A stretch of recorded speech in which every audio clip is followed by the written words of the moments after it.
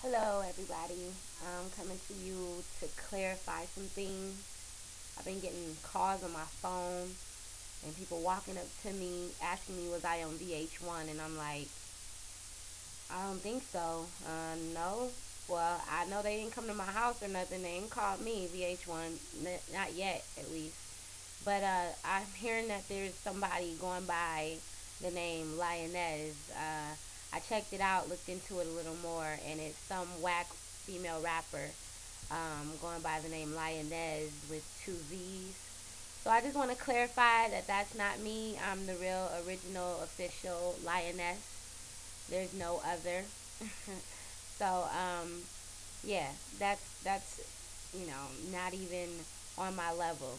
Uh, what she's got going on. She was on some uh, reality rap show and I don't watch much TV, so I didn't see it. But uh, she was voted off, um, so that's that.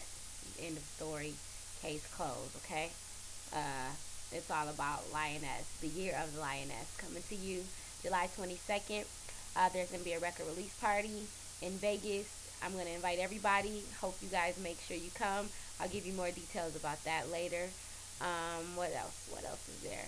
Uh, oh yeah, shows starting next week um, for the next three months at Calix Jazz Supper Club. I'll be singing with Tony Terry and Cheryl Pepsi Riley and other great people. So there's big things happening. This is my year, year of the Lionesse. That's right, one and only official.